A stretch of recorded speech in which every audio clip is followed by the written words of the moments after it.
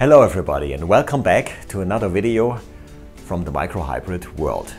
Today I want to talk about China and the very loyal of you might recognize that this is the second time I'm talking about China. The first time, and it actually, this is a fun fact, was the first video we ever shot. Yeah? I talked about plans about opening up a Chinese branch of microhybrid. Today I can announce that we have set it up. The company is up and running and this is so good. First of all, I want to thank everybody involved into the project. People from Hermsdorf, from the headquarter. Lisa Wen, our regional sales manager, but also Jackson Rothe from Sinolumina, our consultant.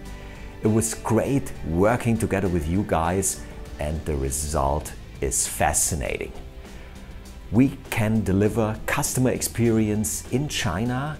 The office is open for our customers. Customers can experience our products, our company culture. We can discuss technical things, projects. For more information to come, stay tuned.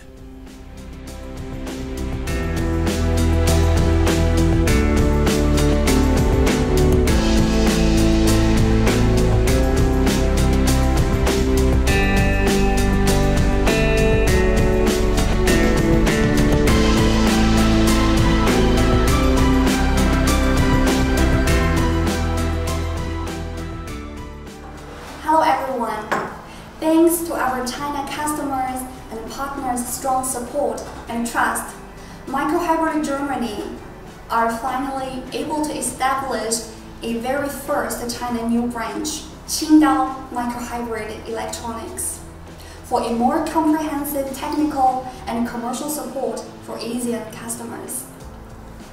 Our new branch is located in the beautiful seaside city Qingdao in Urban Center, Hong Kong Middle Road, number 36, CMB Official Building 2105.